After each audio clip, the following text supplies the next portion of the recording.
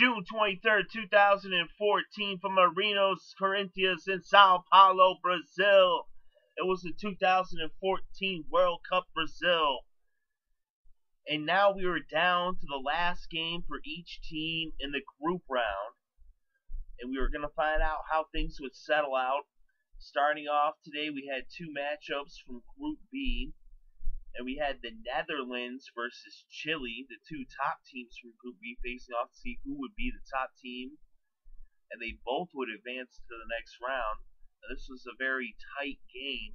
Chile was in control early, but they were having trouble getting any shots on goal. They only had one shot on goal all game long, although they had a decisive advantage in time of possession and in corner kicks but it remained scoreless throughout the first half and deep into the second half until at the 77 minute mark, Leroy Fer scored the goal with the header to the bottom right corner, and the Netherlands go up one to nothing. So the Netherlands, after looking to be on their backs all game long, they put up the first goal of the game and go up one to nothing. Then in stoppage time, two minutes into stoppage time.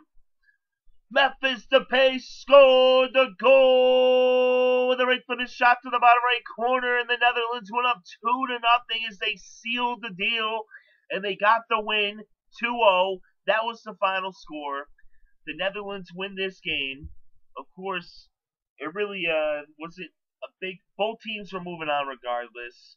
But the Netherlands is the number one team from Group B they get the win over Chile, two to nothing.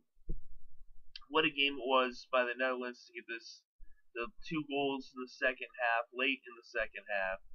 The one goal came in stoppage time. After the whole game, Chile dominated time of possession. They had the ball 68% of the time versus the Netherlands 32%.